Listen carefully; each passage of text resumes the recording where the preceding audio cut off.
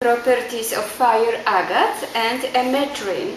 These are uh, stones in this beautiful necklace. Uh, about fire agate, I just read very, very interesting information about the stone.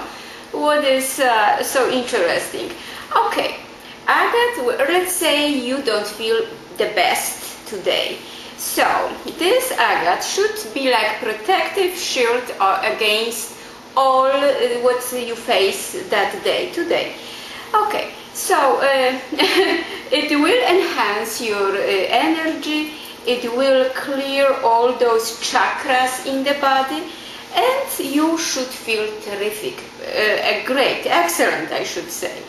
And assisting stone in this necklace is ametrine. It is also natural gem and you have two strands of those uh, stones. And uh, ametrine is very interesting because it consists about 50% of purple a amethyst and natural citrine.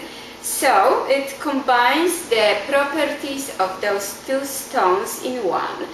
And combination of colors very amazing, very attractive looking and um, so it's very interesting stone and very protective stone. So go to my Etsy store, take a look at this stone, uh, at this necklace and in the meantime I will show you what is coming very soon, this weekend.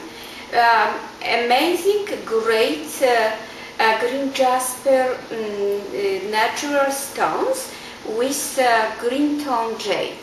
And between those stones you have a natural aquamarine and uh, it's uh, amazing, it's beautiful how it looks. So let's uh, click at those links which you will see under the video. Of course I will appreciate if you will like it and I will see you uh, next time. So let's be ready for another presentation.